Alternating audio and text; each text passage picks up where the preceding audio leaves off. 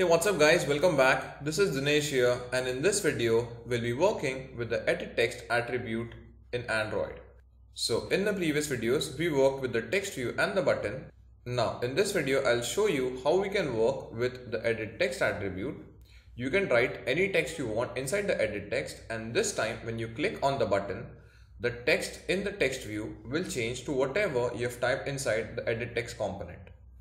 So without wasting much of a time, let's start with the program. So guys, if you go in your activity main.xml and if you see in the palette tab, inside the palette tab, if you see this text fields over here, you will see a list of edit text been mentioned over here. So first what I'll do is I'll just take the plain text edit text and I'll just drag it on the screen. So now if you see over here, the edit text is basically aligning itself relative to the button component since we are inside the relative layout. Now the next thing that I'll do is since this is not looking good, I'll stretch the edit text along the borders. I've just stretched it along the blue borders. Now the edit text is basically occupying the entire width of the screen. Next what I'll do is I'll go inside the text and I'll just check some of the attribute inside the edit text. So you can see the uh, layout width is wrap content, height is wrap content, I'm fine with that. Again the Android colon ID is edit text if you see very carefully, there is no Android colon text as you have inside the button and the text view because since this is edit text window and inside the edit text window, you cannot have any solid text. But what you can have inside edit text is a hint section. So what I'll do is I'll go down and I'll type in Android colon hint and I'll set it equal to your text here. So now if you go in the design tab, you will see that it is basically showing me a hint that is your text here. So the user will understand that you need to type some text over here. Now once I'm done with this, I'll go to the main activity.java and I'll type down the edit text data type over here. So I'll type down edit text. Okay, and as you can see, as I've typed, as I've pressed enter, the edit text is directly imported the edit text window here. And I'll put a space and I'll type down ET over here. Okay and I'll put a semicolon. Now, after declaring the data type on the next line over here, I'll type down et equal to edit text find view by id r dot id dot edit text. So basically on this line what I'm doing is I'm linking the edit text variable in Java with the edit text ID in XML. Okay, what I can also say is I'm basically storing the edit text ID inside the et variable because as you guys know variables are nothing like boxes in which we store values. Now guys the next thing that I'll do is inside this change quote method which belongs to our button I will declare one more data type by the name of string. So I'll type down string st equal to et so I've typed down string st. So the variable for my string is st and I've set it equal to et dot get text to string. In short, I'm storing whatever text is written inside edit text inside the string variable. So first I'll store the text inside the string variable and next I'll display it in this set text method. Okay, but before we do that, let me explain you this line in detail. So over here we have two methods get text and toString.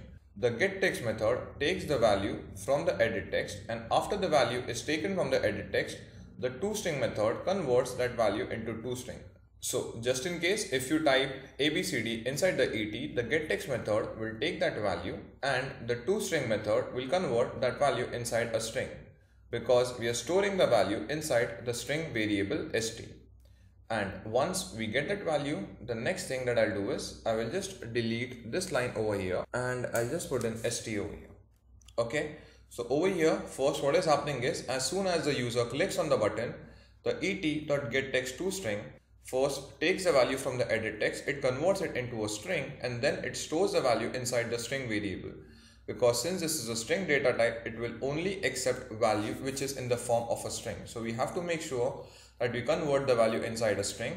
And once the value is stored inside the string variable next we have to display that value inside the text view. So to display that value what I've done over here is I have just typed down quote.setText equal to the st variable. Now please make sure guys you don't put double quotes around the st because then that will make st as a separate string. This is only the st variable So once I finish writing the code, next I'll click on the play button and I'll check the output in my emulator.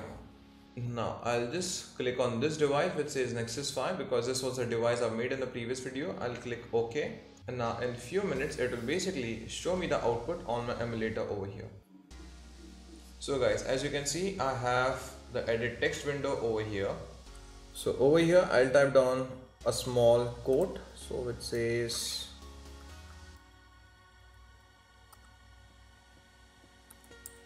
Okay, so I've written over here hard work beats talent when talent stops working hard. And now this time when I click on the button, as you can see, the text inside the text view have changed. So whatever you write over here is gets displayed inside the text view. Now I can add one more line inside this code which will basically clear up whatever is written inside the edit text. So I'll just minimize this text.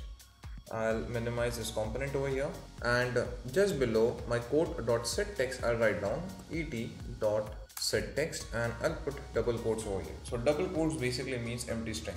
So let's click on the play button and check the output. Okay, I'll choose emulator. I'll click OK.